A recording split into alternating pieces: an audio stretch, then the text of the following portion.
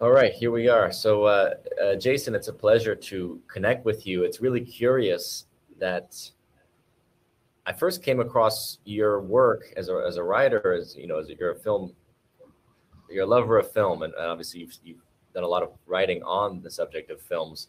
The Blood Poets series I was familiar with as a kid because my my dad is mentioned in it, and some of his work is discussed. So I had seen it on his bookshelf, and then um, obviously we connected more recently when you reached out about your new book Kubrickon, uh, which takes a, a, much more critical approach to Stanley Kubrick and his work, um, yeah. and necessarily so. I think it's it's an, it's an important perspective. But you know, I haven't read all of your work, but I'm fascinated because you you are both you know like myself, you're a lover of movies, you're fascinated by the psycho spiritual landscape of cinema and you've also done work on you know the vice of kings for example which deals with uh, socialism and occultism and pedophilia and things like this. And you've written a book on the, you know called matrix warrior. So i think you know you're just a fascinating person to talk with. And i really want to um, understand essentially like your your worldview in a sense. So maybe the best place to begin is with your vice of kings book. Um, because again, it's the subtitle is socialism occult how socialism, occultism, and the sexual revolution engineered a culture of abuse. Um, this is obviously a major issue in in my work. My series, Best Kept Secret, talks about the, the pedophilia, there's the ritual abuse, this trafficking, the uh, many of these factors when it comes to the rearing of children, and it's not just the perverts in power, but it's also a cultural psychology of abusing children. So I'm really curious to know the Vice of Kings as far as what really inspired your journey down this down that particular rabbit hole. Well, yeah, because that the Vice of Kings really does get to the root of that question, like what inspired me, uh, even though it was a later book. Um, uh, insofar as it's it has a big picture, a wider focus on the whole of British society and British politics. Specifically, it's Fabian socialism, but the publishers they didn't want Fabian in the subtitle because they thought it was too marginal, which I think is unfortunate because it, it really is specifically about the Fabian kind of socialism. Um, and uh, so I had been interested, even when I was first writing books about film. Uh, I, was interested in I think you call it the psychosocial or psychosexual landscape, but the hidden the hidden landscape, what I call organized malevolence in society. Uh, even when I was interested in film, specifically in writing about film, I was aware of this hidden dimension to film and to society, and uh, and even of organized ritual abuse of children from quite a young age. Well, the point is actually from a very young age I was aware of it, but mentally I became aware of it in my 20s.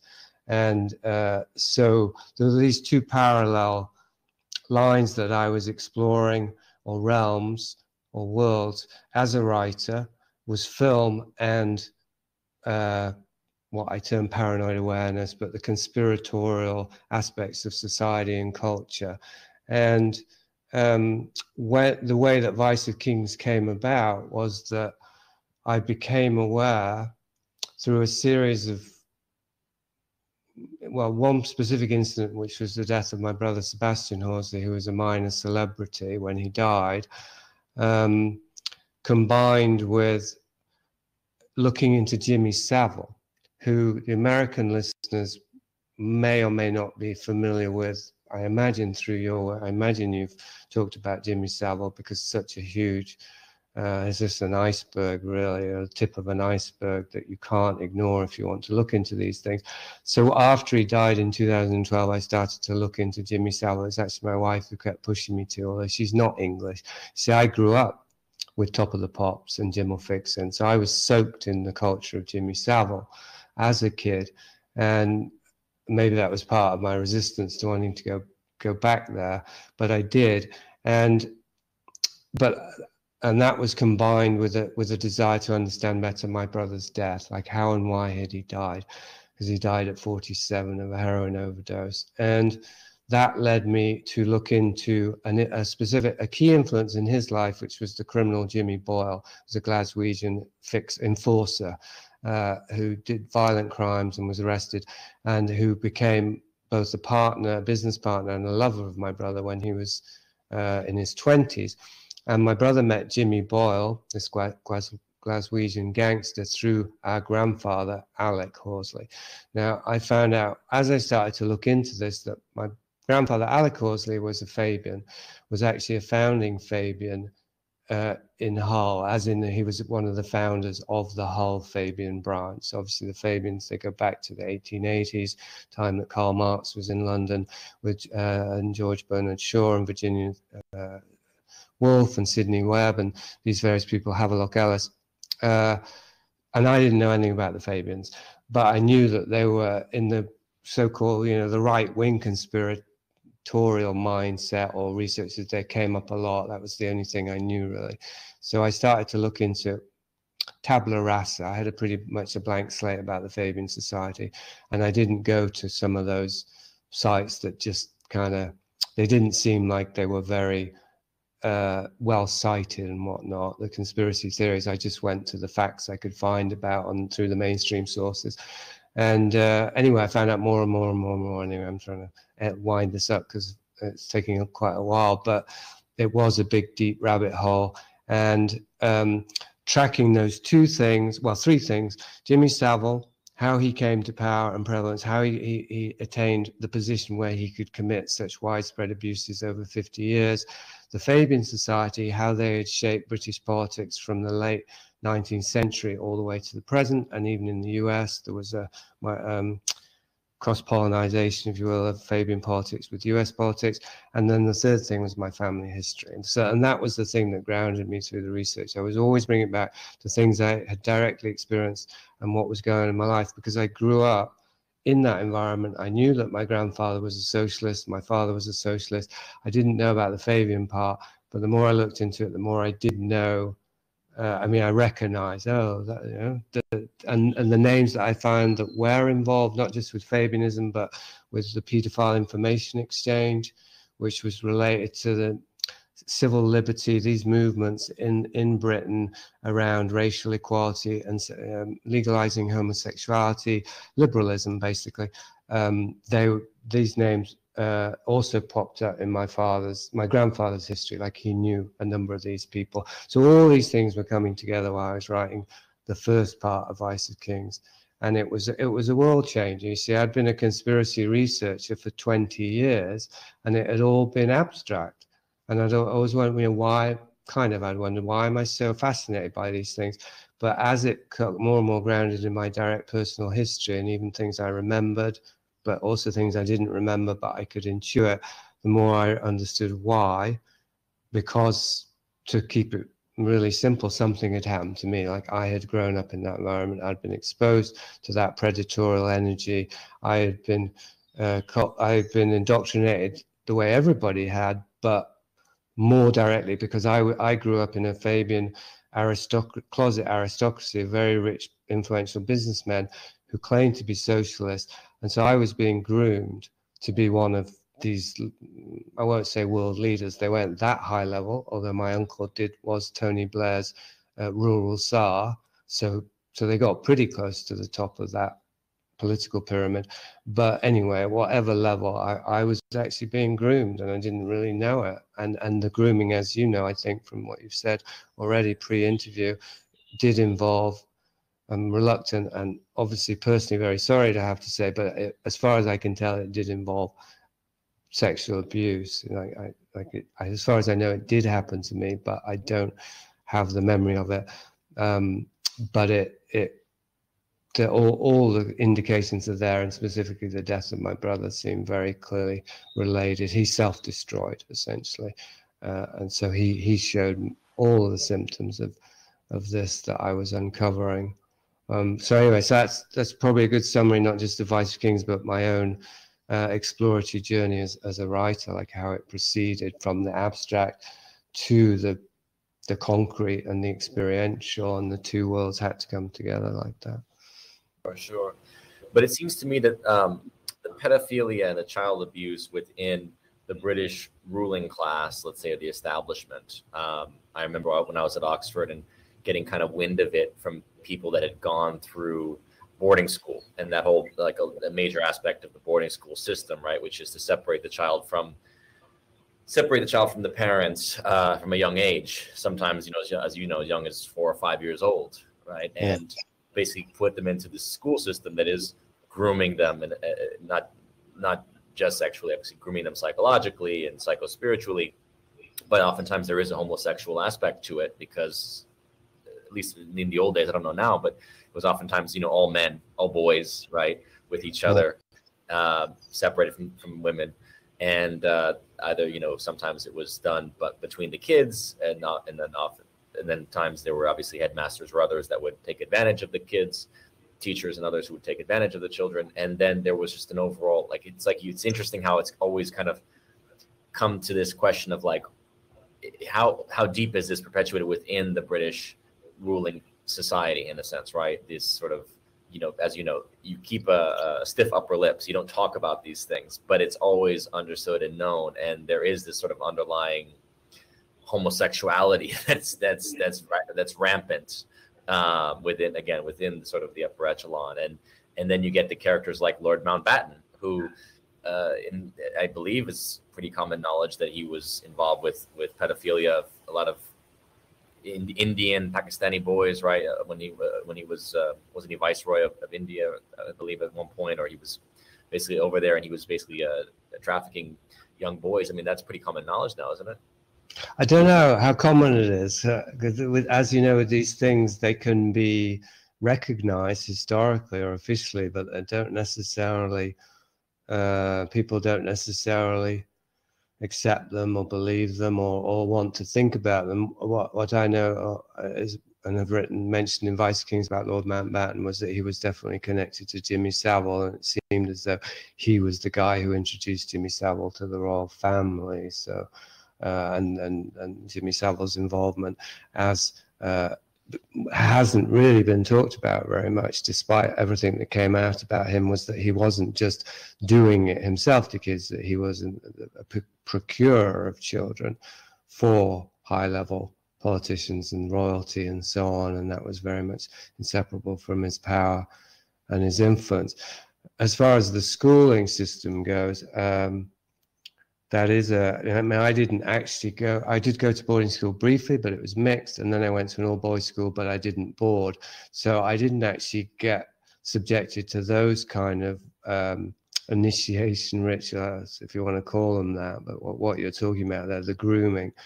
Um, but I do write about that and uh, it does seem to me that yeah it's something that it predates British society because if you think of Greek, ancient Greek, with the the you know the pederasty of ancient Greek, the part of the initiation and the instruction of the boys by the elder Greeks was did involve the sexual element, whether it's homosexuality or not. I mean, who knows what homosexuality is? We could say sodomy. We could just talk about the facts. Um, although you know, there are other there is there's homosexual initiations, if you want to call them that, that don't involve sodomy. But anyway, sexual interaction between men and boys. Uh, it it isn't always, or maybe even in this context, primarily driven by simply by sexual desire and gratification. It seems to me it seems inseparable from what I write about more in Prisoner Infinity, which I call traumagenesis, which is the use of applied trauma through sexual abuse to configure the psyche or to distort the psyche in its formative stages in such a way that it will be pathologically driven to achieve. Because if, if we if we have a a, a, a formative wound, a deformative wound, that creates a core of shame and self-rejection. This is in the Ewen Cameron experiments, or not MK Ultra in Canada as well. Like he would he would while he was traumatizing his patients, he would have tapes repeating the loop in their ears, saying, "I'm worthless, I'm shit, I can't achieve anything, I just fail." Right, and so that would instill them with this, with this massive, uh, overwhelming drive to achieve, because of the core shame, and within them, and that that seems consistent with this quite ancient tradition through aristocratic societies to traumatize their children to turn them into high achievers. And so to me, that's that's more of the deep context to homosexual initiation. It isn't necessarily specifically about homosexuality and certainly not about sex, but about the traumatization of children in their formative uh, stages. Right, and we've seen that certainly with a lot of the reports from the from the survivors of the MK Ultra or Monarch kind of programming, where they they basically found that they were being uh, almost, as you said, initiated into altered states, uh, sometimes greater heightened spiritual abilities or sensitivities, uh, right. remote abilities, things like this, right? Um, to yeah, as you say, from the perspective of the elite, to sort of engineer super superhumans essentially right i mean that's kind of what they're what they're what the, the design has has always been in yeah. the perspective right As engineering the superman it wasn't just hitler's concept it was uh, much much more ancient and deeper yeah and it's been popularized now uh, with the with the marvel superheroes I mean, they've been around for a long time but i mean the, the movies have become the biggest kind of form of entertainment recently, and it's in most, many, if not most, if not all of those movies. Is that the process of transformation usually does involve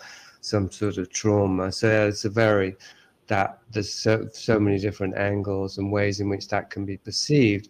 Uh, that process, and in the West, and I've written this is more with veering into prisoner infinity, but I like to just keep free associating wherever the conversation goes. That uh, in the West, we don't have the awareness that they have in the East, as far as I know. I've never actually been there, but things I've read, which is that psychism and spirituality are not the same. Like we tend, uh, in fact, they're so. So a person who is psychic is isn't more whole. They're in fact potentially less whole. And in the East, it has to do with siddhis that on the path to development, you might start developing these siddhis, but these are traps and I think, as far as I know, in the, in the East, they have to do with the entities come and they try and uh, hijack and sabotage a person's spiritual journey by offering these temptations like Jesus had in the desert. And you know, Satan was saying to Jesus, You can turn uh, stones into bread, or you can have power over all the kingdom. Like Satan was offers, offering Jesus powers, superpowers.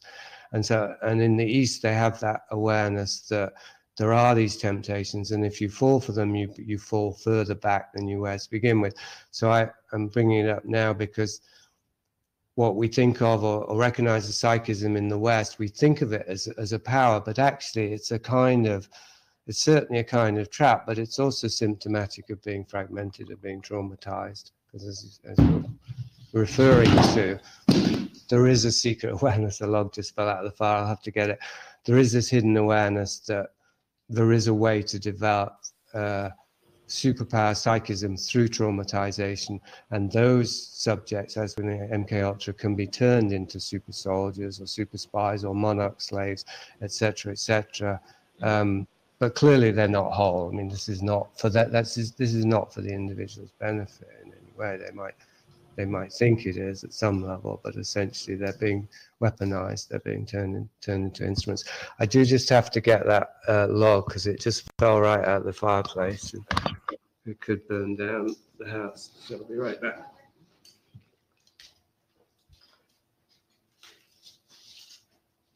Did it fall out? I got it. Okay, sorry about that. It's probably the subject matter. It's all good.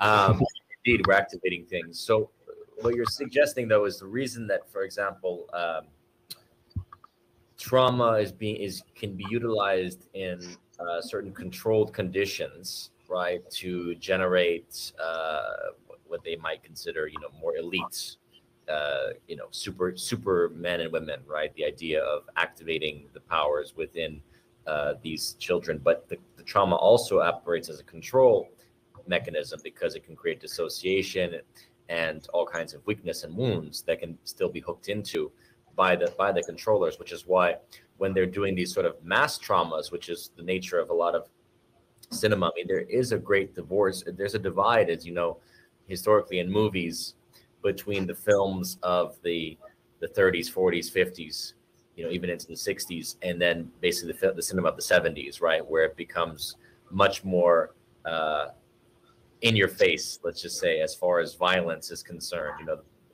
the the the, divide between the, the depiction of violence, you know, let's say like you know, pre nineteen, I guess pre Vietnam War as opposed to post Vietnam War, right? Where it's like violence is more subdued. It's it's you know there's no blood. It's, people know when they watch old movies, right? There's no blood. It's just like it's an it's an you know something is being enacted. Whereas you know post Vietnam, it's like the blood is in your face, the trauma is in your face, um, mm-hmm. the, the sex is in your face, right?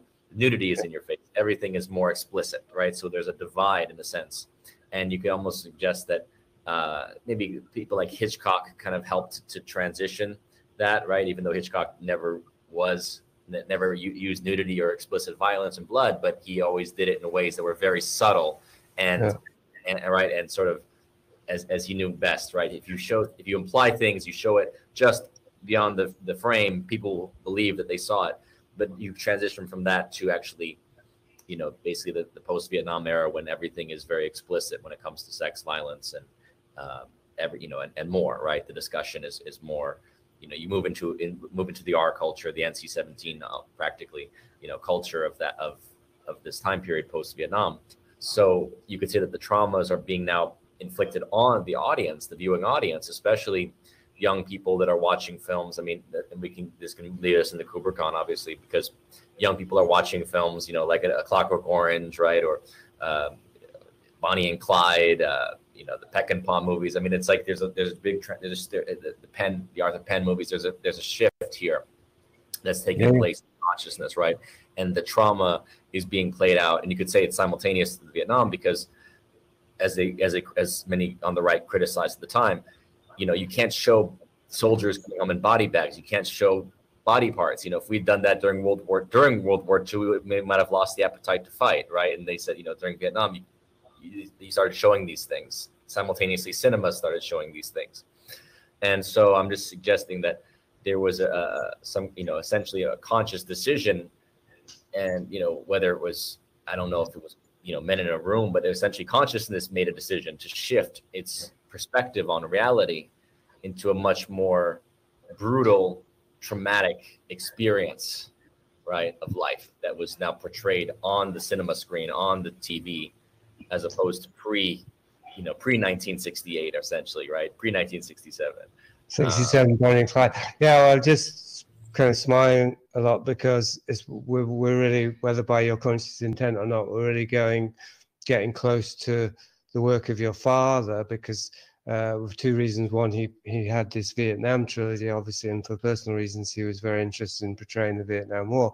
Um, but also the JFK thing, because in in uh, Blood Poets by which for those who don't know, you, you obviously know if you saw it on the bookshelf or if you looked at it, it's, it's about violence in cinema. I mean, that was the first book I published, and that was my interest was in movies. But I realized at a certain point that if I wanted to write all about all the movies I loved, well, they were all violent pretty much. So that was just the, the, simplest uh, way to come up with a thesis that would I would get to write about all my favorite movies. So I came up with the Cinema of Savagery and uh, these two volumes about violence in movies. But I, I was interested in these deeper questions even then that you're bringing up. And so, in order to make that plain from the start, I actually begin the book uh, officially after the intro, which does write about Hitchcock significantly and Psycho being a turning point. Uh, also Peeping Tom, which was the same year. Uh, but I begin the book proper with with the JFK assassination, and my my hypothesis at the time was that the Zapruder film, although it wasn't shown until later, so I had to fudge it a little bit, but still, this event happened in '63, um, and uh, obviously that as you know, has been done to death. Really, that had this massive impact on the collective psyche of of America, of the U.S. Um, and even before the Zapruder film was seen, but certainly after, I forget the exact date of the Zapruder film when it was aired, you may know, but I think it was as late as the 70s. I think it was. I'm trying to, if, if it was because uh, I know Time Life had it. They, that, yeah, that's a good, um, right. A variable because they did show the images. So yeah, I think that was how I was able to still argue. My argument was is that not only did it obviously it impacted everybody, but it specifically impacted filmmakers because when they saw those images, they realized, and yes, the Vietnam War also, of course, but that they had to up their game. You know that otherwise they just wouldn't be able to keep up with with reality. And you know the series 75. Filmmaker. It says 75. I'm just briefly, you know, googling it. Yeah. It looks like no, no, not 75. Sorry, saying 60, 75, but it also says 69 that Geraldo debut Geraldo Rivera debuted the Zapruder film on ABC's Good Night America in uh, on February 14th, which is uh, Valentine's Day. Right. 69. I mean, talk about 69 as a year. Yeah. inversions, right? We've got the Manson murders. We've got the moon land. I mean, right? The moon landing is the Manson 69, right? It's like it's really yeah. a strange. The year. Wild right. Yeah. So okay. So. Um, as I say, even if it was just the printed images, there was an awareness that this catastrophic event had happened, this most gory, horrific act in public, in broad daylight, in public view. This is, you know, JFK's head, and and the images were seen. I don't know if in the original Time Life, if they left if they left out the image, actually, the image of the head exploding. But it seemed to me, I hypothesized that filmmakers such as Arthur Penn, who really, whose Bonnie and Clyde was the real breakthrough in terms of cinematic violence, and then Sam Peckinpah consciously and intentionally tried to up, he tried to trump Bonnie and Clyde and succeeded with the Wild Bunch. Um, that, that those filmmakers would have would have been consciously aware that this is we have to we have to represent this reality we have to match it we have to compete with it. And it was you know it was the end of hitchcock really 63 the birds that was his last really effective movie. This does dovetail with kubrick because 64 was dr strangelove which i write about in the blood poets and i have to justify well okay there's no violence in this movie but it is about the destruction of humankind. So whole, the whole ending sequence is, is the most violent thing you can imagine, right? I mean, well, yes, but there's no blood in it right? so it is the most violent thing you can you can actually do. Yeah. That's always that's always been the point, though. Just just just by the way, is you know my father was making with Natural Born Killers. The point he was saying was, look, we don't show that many people getting killed compared to like a movie like Bad Boys, which came out the same year, I think, right? And he's like, they probably kill more people in Bad Boys, but for whatever reason, we're ultra violent because it's I think it's the way that the film is done. It's it's more shocking to the psyche. It's more immediate. It's more perhaps even though it's overdone, it can feel more realistic, I guess, because of the nature of serial killers and their fear of these things. I mean, there's something more realistic to that than a big shootout with cops and drug dealers, right? Even though, again, these things happen, but they don't seem to, they don't seem as, as viscerally real for us as the fear of a serial killer because we see that in the nightly news, you know, the warnings about that. So I don't know. There's, there is this well, interesting I, thing. I right? think, I think what I mean, I was thinking about Natural Born Killers just today, and it wasn't because I was going to be talking to you. It was because I was watching a documentary on, on Charles Starkweather and, and Caril Ann Fugate. And I was thinking about my, my very long essay in The Blood Poets. It's one of the longest essays. And one of the things I say, I was, well, I was thinking about why I liked that movie and whether I would like it if I watched it now. And I don't know if I would or not, but I have the feeling, and what I was thinking today was that even if I still liked it now, I would feel that there was something wrong with me for liking it. And but I also kind of feel this is one of the points I made in the Blood Poets uh, about Natural Born Killers because I I refer to Pauline Kael a lot because she was my mentor, not personally, but as a reader. And she she didn't review it because she's retired, but she she talked about it in an interview and she she really disliked it, as you may or may not know. She didn't really like your father's films. Um, and she said that it was, she implied it was very irresponsible because the kind of violence, it was the kind of violence that gave you a heady thrill and it made you feel excited and kind of aroused, turned on. And my counterpoint was, isn't that exactly how Mickey and Mallory feel? Right? And so what I felt that that film did much more effectively than Clockwork Orange, which I really dislike as a movie, and I, I think we could talk about that and the way it's. It, I think it's almost provably a kind of psyop of a movie. Um, but Natural Born Kills, although there were copycat murders there also, and I defended Oliver Stone in my book around that against John Grisham, but um, the uh, the the the film it, it it really takes you inside the skin of what it's like to be a deranged killer, and that's that is more disturbing. That's more disturbing than to be a victim. Actually, it's uh, and certainly I don't know if it's, but it's it's disturbing to have that experience, right? And that's so much of what Natural Born Killers conveys, right? Is the almost schizophrenia of of the experience, right? Between dimensions of stock movie footage, right? And you know, uh, B movie footage and Corman, you know, Corman-esque demons and dragons, and then there's the anime, right? And it's like, what is the mindscape of these people? But what is the mindscape of any of us? And I think what's so brilliant about it, and also as you say, it's such a hard film to watch because it's like this was the breaking point in a sense between uh, the many dimensional multidimensionality of of our media landscape right this yeah. became this film comes out in 94 pre youtube and social media and all of a sudden you know we're in a landscape of 60 different you know how do you say we have so many different platforms we're interfacing with. We're interfacing right here on a little computer you know and then you know you can have in the background you can have a movie going you could have you know you could have your social media feed you all these different channels in a sense right of existence of affecting our consciousness.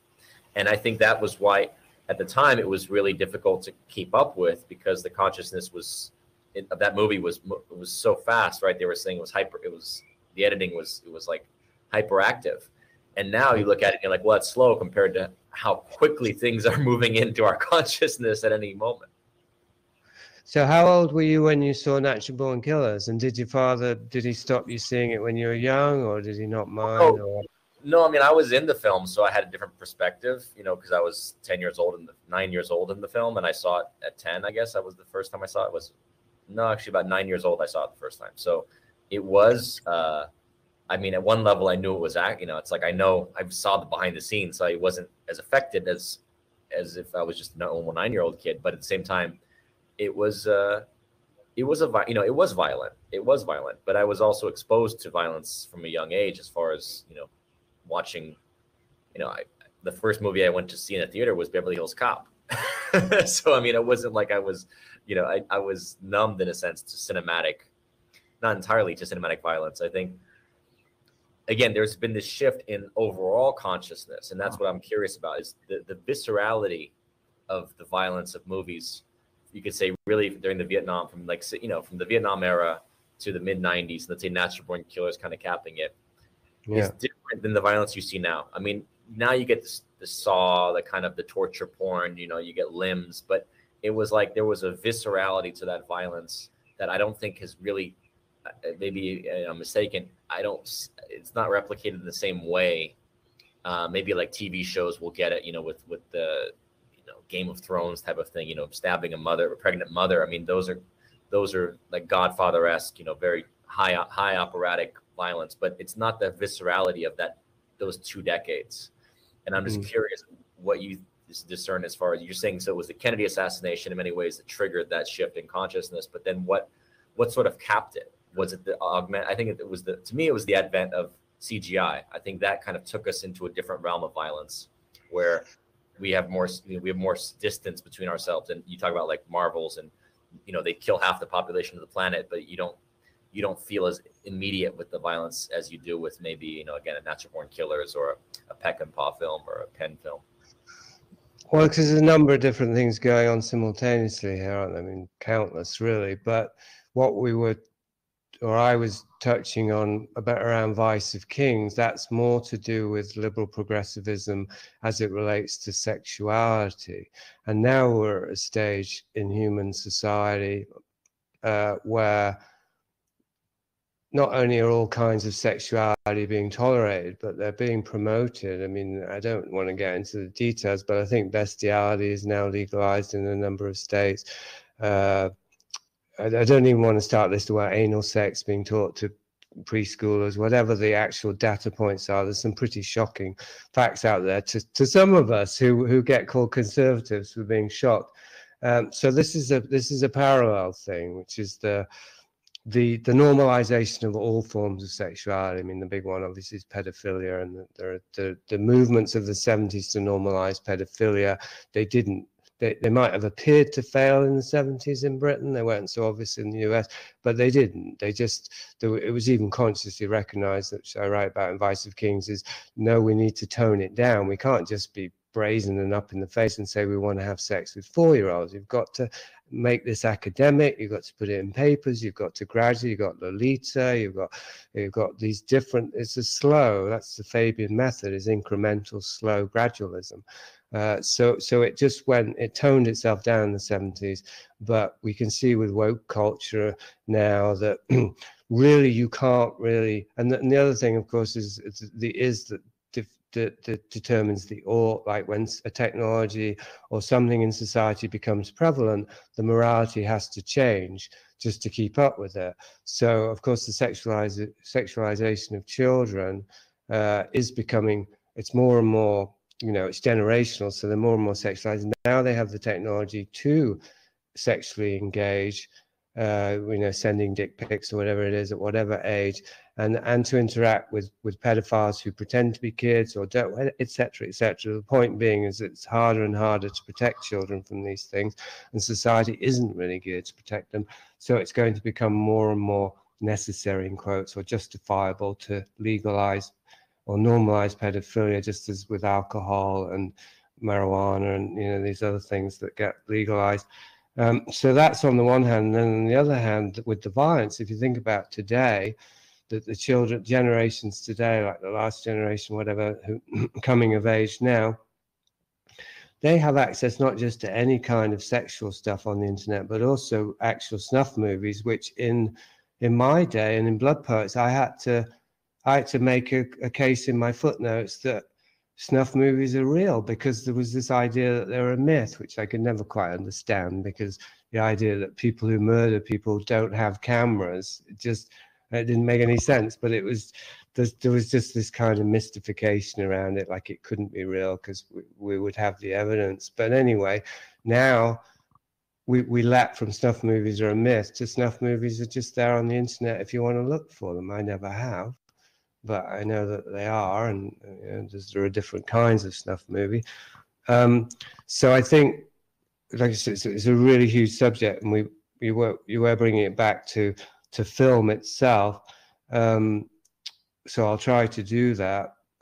But so yeah, in the late sixties and the seventies, there was this rapid uh, explosion really of artistic of creativity in the movie industry and it's considered the golden age of cinema and so far as i still love movies most of them come from that period and it and it coincided with the um, the, the freedom to to to depict violence and sexuality in the movies. Like those two things happen simultaneously. So what was that? Well um, you know, I, needless to say, I don't like my last book before Kubrickon was 16 Maps of Hell, which is one that I think would interest you perhaps most of all, whether your father would want to read it, um, is about the Hollywood superculture and how Hollywood is an instrument of social control and of all these agendas we're talking about, like the main instrument essentially.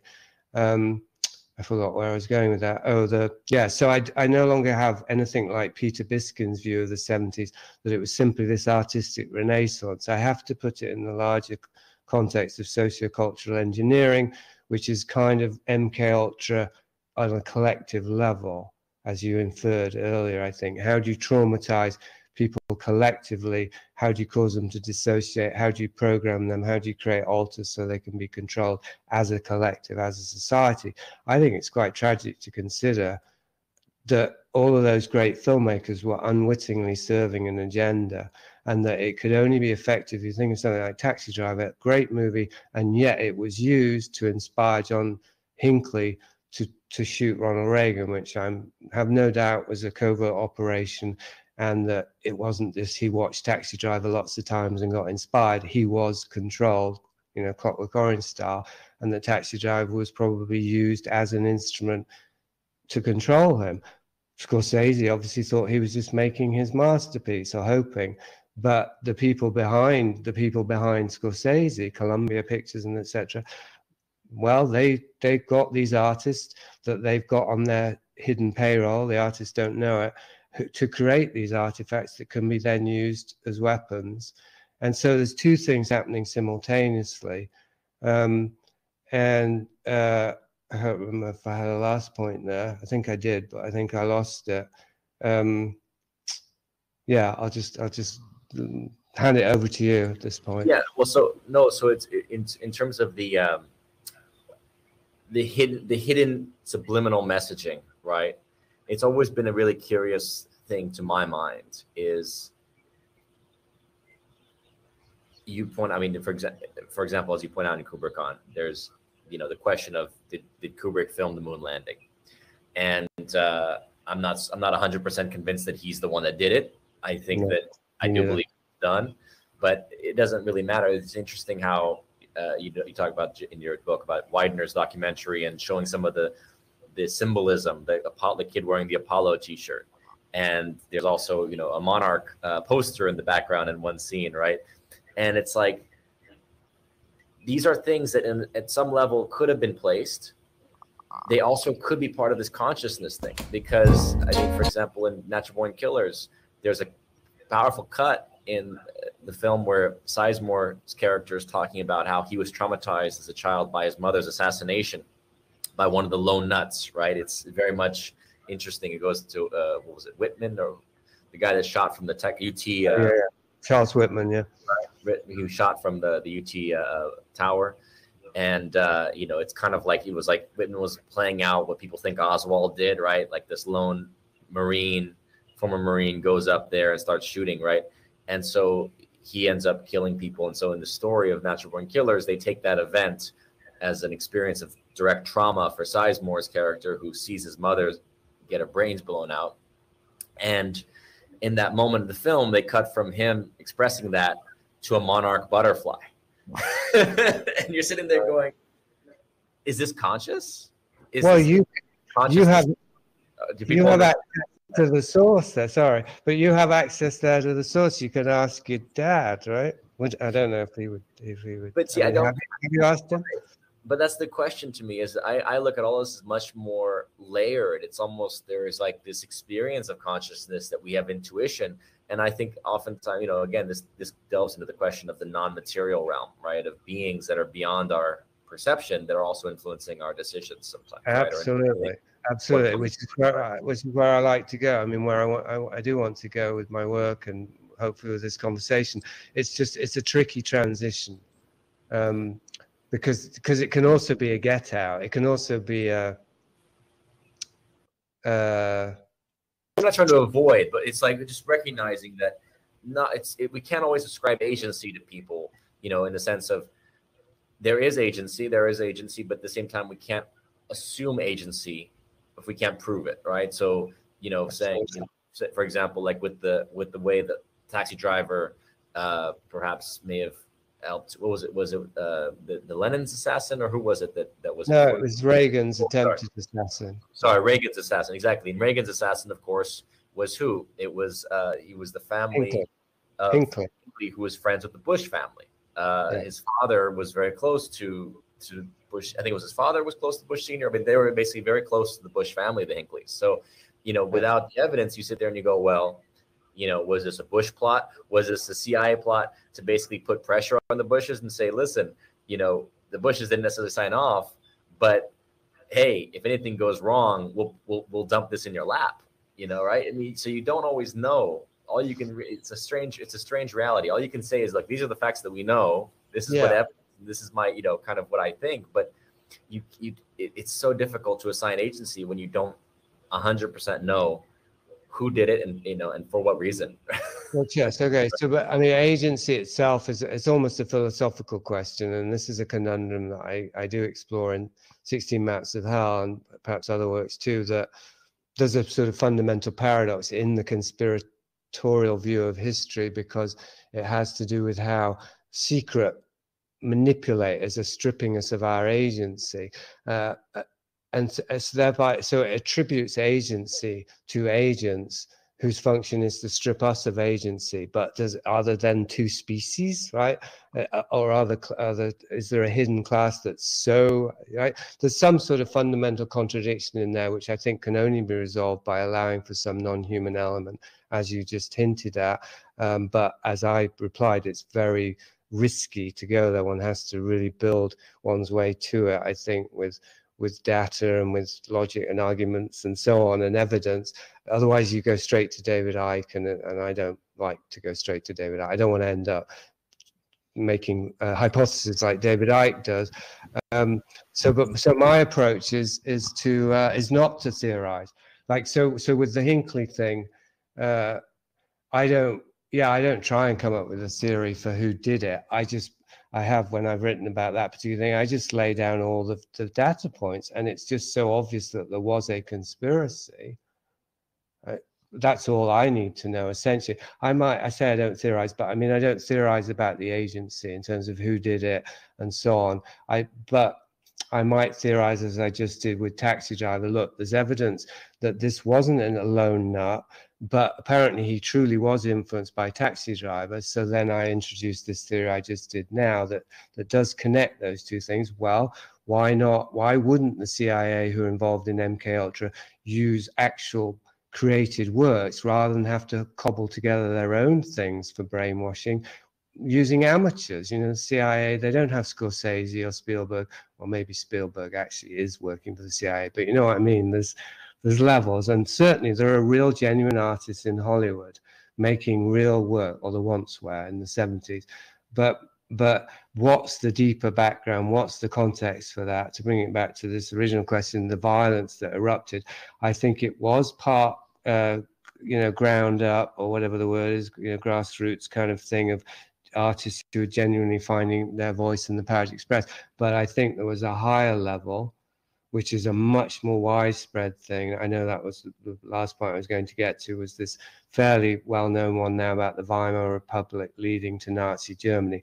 That if there are periods of intense liberalization or freedom, there is always a corresponding crackdown, and that it's it's in there as well as out of like people who are liberated too quickly or exposed to too much sex and violence etc too quickly they actually want to close down they they they are ready to to have the forces of law come in and say, okay, enough of that. So, so that's very widespread social engineering, and uh, that I would say, if that wasn't ongoing, then Scorsese, uh, De Palma, Coppola, these artists that we really respect, your father, they they wouldn't have been given the freedom to do what they did. That that's my theory based on the evidence. Right, right. No, I mean it's look, it's it's one of these questions that uh, I don't think even sometimes they fully know, right? I mean, there's like there's an understanding of power structures, and sometimes you glimpse it, but or some people are more in, involved with it, more entangled with it than others.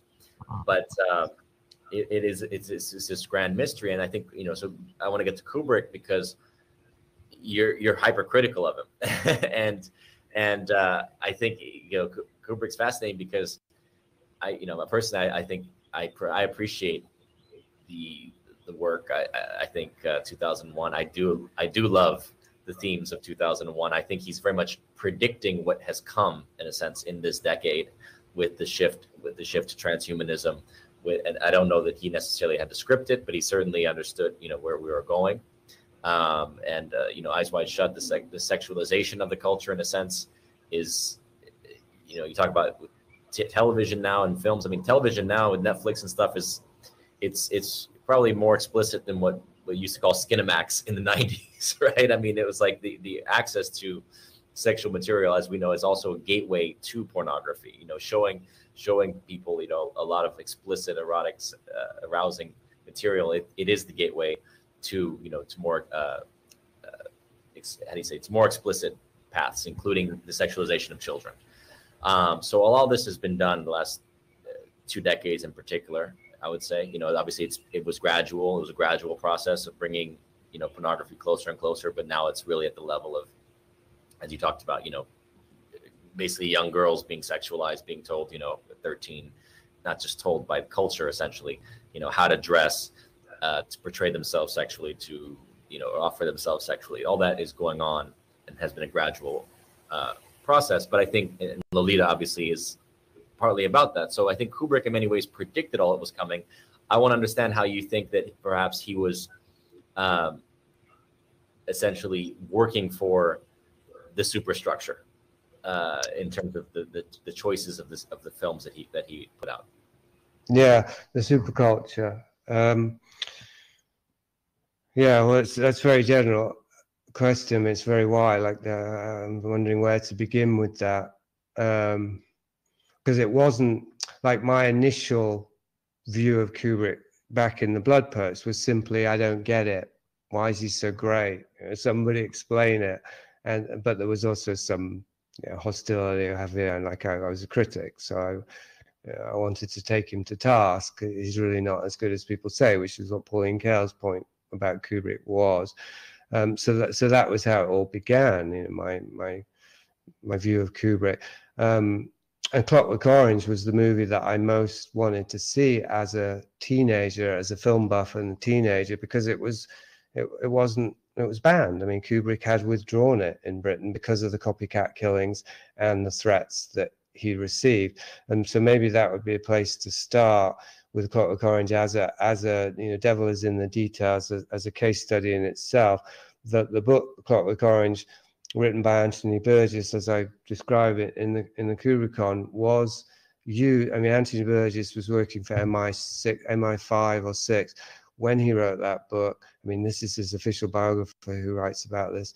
Um, and he was recruited by them or, or, or, assigned by them to, to write the book, or at least if he'd already chosen to write it, that to include in the book things that they wanted to be included. So, however, you know, to whatever degree, Clockwork Orange was written by Anthony Burgess as a vehicle of um, Mm, I'm not sure what the adjective or the word would be because I'm not entirely sure how it was used, but as a vehicle for MI6, for espionage, for intelligence work. Uh, and then Kubrick comes along and he makes the movie. Now the movie is um, is about brainwashing. It's about mind control, which I I point out in the Kubrickon. You could say about many of his later movies, if not all of them, to one degree or another. Uh, if you include artificial, artificial intelligence in terms of you know trying to understand how to program consciousness then even 2001 seems to be about that subject also so this was a prevailing interest to kubrick and, you know my overall thesis is that kubrick was interested in in uh, how artificial intelligence could actually be created and that he had a very different angle of approach to what most people think of as how artificial intelligence is going to come about and that he was, and I have the documentation in the Kubrickon that he was approached by the U.S. intelligence community. I forget the exact uh, agency, but it's there in the documentation as a to to be recruited for some form of work in propaganda intelligence work. Uh, but that's all we have is this this documentation, uh, and a number of other filmmakers also uh, anyway around the same time uh, post Doctor Strangelove, and so so my quite tentative thesis, which I build upon as I proceed, is is that 2001 was the beginning of this secret project, which was about how to how to create artificial intelligence. And as you say, he anticipated many things, and I think one of the things he didn't even have to anticipate was was the internet because it was being developed at that time through DARPA with DARPA. So I, what I think he predicted was that the internet would be the primary means for creating artificial intelligence through the gathering of data via human interaction.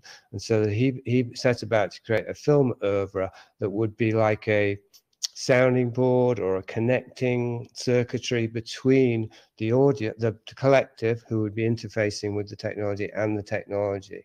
Just one of many, but to create an audience cult around him and his movies that would that would attract and capture an obsessive kind of attention, which is exactly the kind of energy, attention, data that is needed to uh, to make to animate the machine so that that's kind of my thesis, which I'm aware is almost almost or maybe very much like a science fiction thesis that belongs in a movie. I'm, I'm, not I'm not naive about that, and where, and where it sounds incredible, but uh, I there were just certain things that just seemed to point to that. So I thought, well, let's try and see if I can fill in this thesis and make it believable, almost as a not a stunt exactly, but you're nodding, so I think you kind of know what I mean. It was it was a creative experiment, and uh, and I just surprised. I was more and more surprised. I just kept finding more and more evidence, and uh, for, that this is how his movies functioned. And part of the evidence, of course, is the cult of Kubrick, the audience on the internet, YouTube now that are doing all this obsessive stuff with his movies. Um, another part of the evidence is the movies themselves. Uh, and another, a third part of the evidence is one I'm more familiar with in my other books. I'm more, um, you know, trained at. I've trained myself is looking at Kubrick and his connections and his life. You know, the minutiae of it to see how uh, how affiliated he was or was not with agencies and individuals and agendas, how much his career was assisted and facilitated from day one, how much his reputation was just constantly being bigged up. I mean, look at your father as a counterpoint, constantly being trashed, and you know, there's just there's no uh, like Kubrick actually prevented a book being published about him that was um, that was balanced.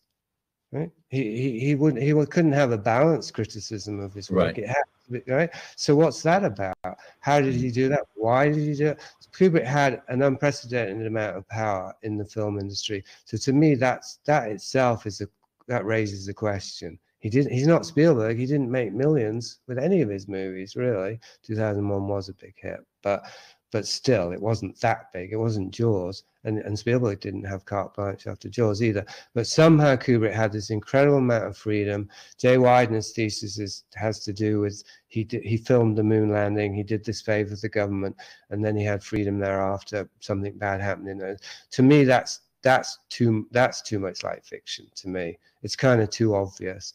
The, the, the way that social culture anything works, it's not obvious. You can't just make a tidy theory about it. Uh, it's really hard to get your head around. That's what I found with Vice of Kings. Most 99% of conspiracy theory is is basically off off. It's just wrong because because most people can't think the way social engineers think.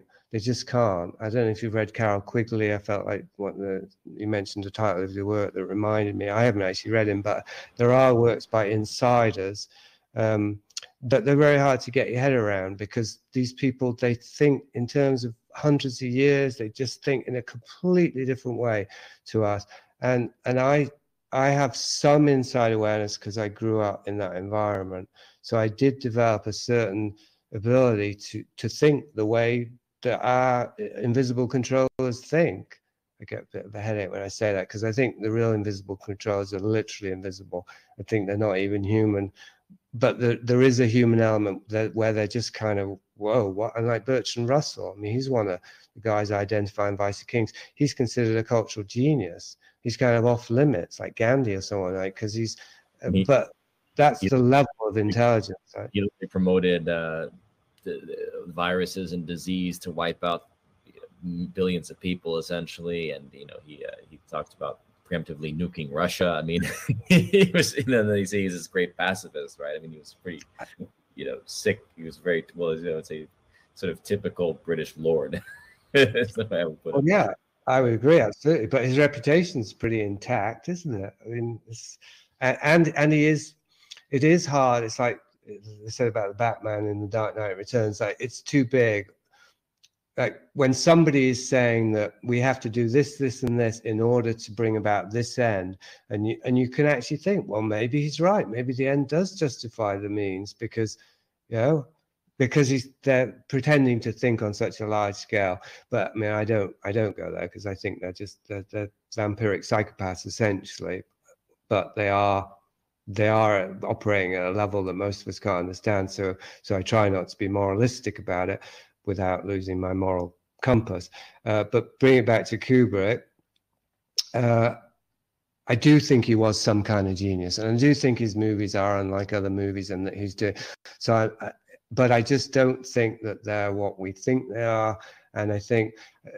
Bring it to Clockwork Orange that it wasn't a coincidence that that movie actually inspired violence, and it wasn't um, it wasn't. I don't think it was simply that Kubrick was worried about getting retaliation that he withdrew it. I I would I could speculate that he had a conscience that giving him some credit a benefit of the doubt but but at least that he he was aware that that movie was an experiment in and of itself to see if a movie could do the things to the audience that the movie itself was showing being done to its character it's very symmetrical and it was effective and so mm. he was worried you know he had some genuine worries about that mm-hmm. I don't know it's, it's interesting it's an interesting uh, supposition um, so basically, uh, it's it's social engineering, right? I mean, that's that's partly what what's what cinema does. People talk about predictive programming, and there is that there are aspects of of that, but um, a lot, you know, it's overall social engineering. It's when you want to create connect you you want to create lifestyles in a sense, right? That's what this is done, and I think cinema for me, it's funny, you know, '99 is when Kubrick died. It's like, as I mentioned earlier, to me, a lot of cinema basically died right around 2000 when we transitioned to the 21st century because we did move from film into digital, right? We moved into uh, a space where most storytelling basically is centered around CGI, and not most, I should say, but a lot of storytelling became centered around CGI, and it seemed to have, we have lost uh, a lot of the classic storytelling abilities because maybe there was this disconnect with dialogue and all of a sudden we I, I looked at it like well they're basically they're they're making movies to the lowest common denominator.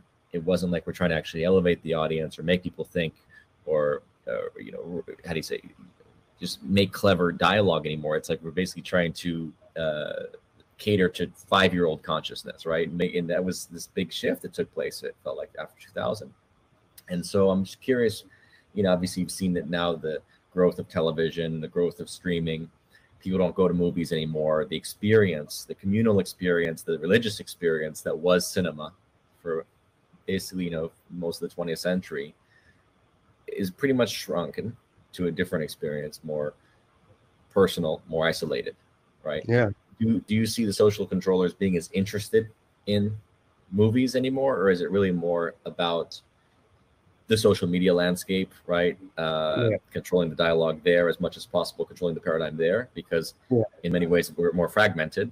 And actually, I think that's also a positive. There's like there's both positive and negative, right? You can have more individuality and perhaps more personal in, eh, choice at the same time. Maybe you don't have as much impact or influence as in the old days when you know filmmaker could put people into a, a box and tell a story, you know, for two hours to millions of people. Um, I think. I mean, I think there is some positive. Like you and I are connecting, we wouldn't have been able to connect, and so some things do happen for sure. But I think they're really vanishingly small, and they're getting smaller because most people are just locked into social media uh, distractions, and even the area that we work in a, large part of it is what I call conspiratainment. It's a kind of controlled opposition where even you know there are free agents in it that don't realize they've been recruited by the king's controlled opposition because it's clickbait. It's keeping people distracted and it's keeping people on their devices, which is the main. That's the end game, I would say. And think about uh, what you're saying about cinema movies in cinemas, at the very least, even if they're corporate, you know, uh, military, industrial entertainment product propaganda, um, it's communal. People are coming together and sitting in a cinema and they're having a communal experience, and that is is is central to what's being destroyed, that's being taken away, is you know, any, any form of real communal connectivity between human beings so that we can only interconnect, we will only interconnect through the media, through the technology, which is completely controlled, completely. Like we're only able to have this conversation because they it's allowed, right? It's, the internet is still relatively free. But at any time, even, you know, even tomorrow, it could that quickly, these freedoms could be taken away because you know the powers that be have control over the the infrastructure of that. Um, hopefully, I didn't freeze up because it looks like you might have frozen up. Yeah, we're still coming through. Listen. Yeah. Um, so uh, this, yeah, I mean, this this dovetails with the Kubrickon very much because uh, yeah, movies movies have given over to or to TV on the one hand, which is really unexpected. Like most of the quality stuff, I think even that's gone now. To be honest, I think there was a period of the TV renaissance, but I don't, I don't think that's over now. But anyway, there was this period of transition, and what was that about? Well, why have much better TV? Well, two things. One is it's solitary; people do it at home, uh, and two, it, it's long form. So it's binge, this whole binge watching thing. You get people to stay at home for longer and longer periods and soak up the propaganda, even if you love it, Game of Thrones, whatever. It's still got this other covert function. Um, so people are, either staying at home more, which obviously the era of COVID was really about making that happen, and and they're they're glued to their tech, right? Uh, so uh, that's that. That's TV. But then I think the um, the, what's much more prevalent and much more indicative of, of a shift is the social media platforms, including YouTube or what have you, where people do create their own content. I mean, everywhere you create your own content on social media, but I mean, YouTube, you you you can be an artist and do it. Um, uh, the so so the, yeah, the I don't want to say the end game because that's an easy term, but certainly really central to my thesis about the Kubrick as in Kubrick's attempt to to use his films to create a body of work that would be, uh, be able to interface with the internet in order to gather data for the creation or the inception of artificial intelligence. That thesis that social media, this age of post cinema social media, is all about audience interaction. That's the key. And, and, and this has to do with complicity because it's, it's one thing to control people to get them to, to not disobey, to not rise up, to not prevent the control. It's quite another to be able to recruit them, to get them to basically, they're your ground army they're on the ground and they're creating the content and they're they're spreading the memes and they're spreading the sexualization and the violence whatever it is that's part of the social engineering they're doing it to themselves. So not only have you got this army that's creating more and more of the content and feeding more and more energy into the machine but you've got their complicity. You've actually you've got them by the, the balls then because they're they're invested. They actually believe it's their own uprising and it's yeah. actually part of the conquest of the human soul. Yeah, well, that's, I mean, certainly we've seen that with how many influencers bought into the whole pandemic and we're basically taking checks as Jimmy Levy exposed. You know, we're getting paid to promote all the the talking points during the lockdowns, right? Uh, shots, everything basically they were getting paid to do, and how people obviously went along with that narrative without batting an eye. You know, unlike you know few like the Joe Rogans who's who just did what they wanted. Most just obviously complied. And so I think it's very interesting. What you're saying is essentially, yeah, it's like opt. Basically, they're getting people to opt into their own self destruction. Um, and uh, it doesn't sound like it sounds like you're pretty pessimistic for uh, for the the future. Uh, socially speaking, societally speaking, I'm 100% pessimistic, but but you have to not remember because I haven't said it before, but I have to add that um, I've never been, I've never had a positive view of society. I've always seen it really. And there's a brief period where I was trying to make it in Hollywood, which has been the time I got Blood Poets to Your Father. Uh, that, um, uh, and even then, actually, even then, I was like, why am I doing this? Why am I trying to get, you know, get connections in Hollywood when I think society is all just a basic trap, a soul trap, and it's all going to hell? But, but anyway, uh, my my view is is that the I don't want to oversimplify it, but yeah, I'm very pessimistic for anyone who feels, and this is the majority, who feels that they can find themselves a place not just in Hollywood but in society. Because I don't think there is a place for human beings in society, not anymore. I mean, I don't really think there was a good place ever. But since the COVID and since the, the enforcement of a very dangerous experimental nanotechnological implant into the body that people are submitting to because they're afraid to lose their jobs or not see their grand, I mean, just the, the organized evil that we we've seen over the last couple of years uh, has just made it really the writings on the wall that there is no safe place in society. I'm not saying you're safe if you go back to nature and try and live off the land like I'm trying, because of course there's drones and, and the nanotech is everywhere. But at least, at least I'm, at least one can move in the right direction, which is away from complicity to and complete uh, submission to something that is more and more observably evil.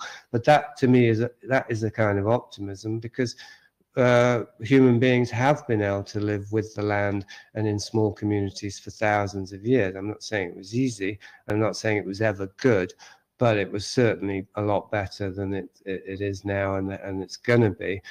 Uh, and so, whatever it takes really to um, inspire or encourage the, those of us who have enough discernment to recognize evil when they see it, to make that very difficult transition, that seems like a positive outcome. As long as there's enough, as long as there's a few people who do that. I'm not. I mean, I don't want to sound like I'm, I don't care, or, um, but but people do.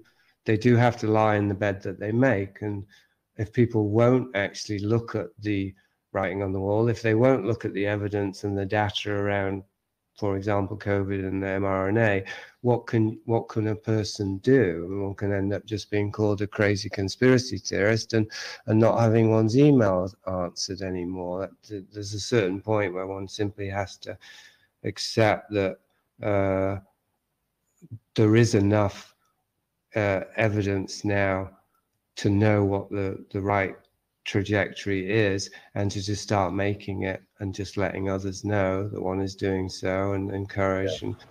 and well i think i think what you said is, is very valid just you know the idea of trying to fit in society is already uh, pathological in some ways. It's like there's there's a problem when you're trying to conform to something that's inherently sick as we've seen with you know with these different models of our societies for, you know, for going on thousands of years right? Um, even the natives. You read the anthropological, you know, discussions between the the natives of America, the Americas, and the European settlers. You know, and the Europeans are like, you know, the natives are going, why are you bowing down to some royal? Why are you, you know, you're, you're you know, you're you're dressing, you're you're putting on this whole apparatus of wigs and all this costuming just you know to fit into your society right and it's always been this way it's like trying to fit into something that may not even be innate to your your true nature and uh, I think that's that's the point. I think that we are at this breaking point, right, where society is going to become it's technocratic, it's going to be increasingly transhuman, and as a result, unhuman,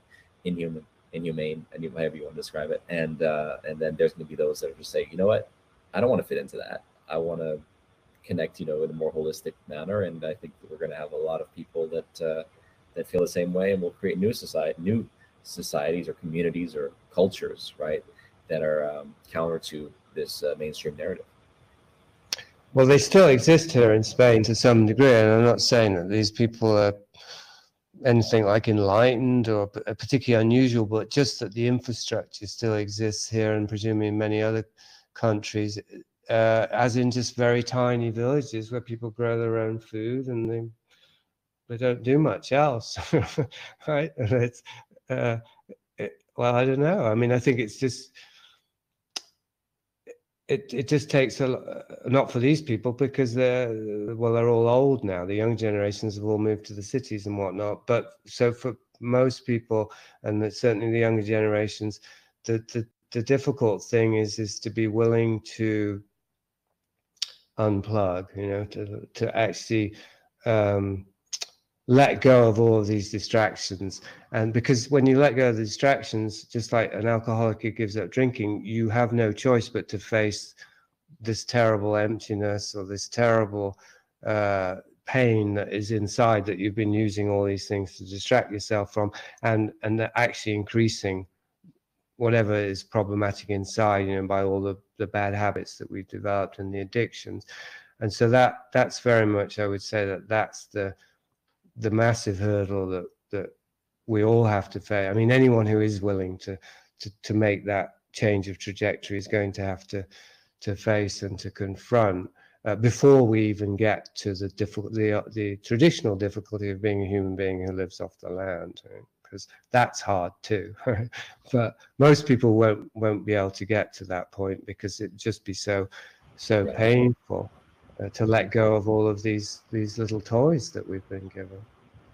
Well, and that opens up another conversation, which I'm really curious to read your upcoming book, um, right? About uh, the Big Mother. What is it? Yeah, Big Mother, the technology of evil. Yeah, I'm curious to read that, and maybe we'll have another conversation to follow. Uh, but I've kept you long enough. This has been a long uh, conversation. I feel like we've just barely scratched the surface because there's just so much to get into. Absolutely, yeah. Well, I'm, I'm glad that we finally connected because it seemed like we never were going to be, but it seems like we have uh, some similar perspectives on this. Absolutely. It's always good to meet a potential ally. Yeah, especially going into this this new uh, this new time frame, this new, new reality. Well, yeah, exactly, exactly. I mean, there's not. Uh, my point is there aren't many uh, I won't say of us because we've just met, but I don't find many souls who are really willing, ready, and able to to to face the facts. It's one thing to talk about them and discuss them, but it's quite another to really face them full on. Um, so yeah, and that's as, as a last point uh, to you, but to anyone who listens, my, my real uh, interest and the reason I write books and do interviews so I can sell books is is to is to connect individuals and to work with them. Unfortunately, online still, but in group, I do group work online and I do one to ones, and just really to to deepen it, deepen it, and get it to much more to the practical and the personal, right? Mm-hmm. Well, actually, how we live our lives. That's that's where the change needs to happen. Beautiful. Well, thank you. Excellent. Uh,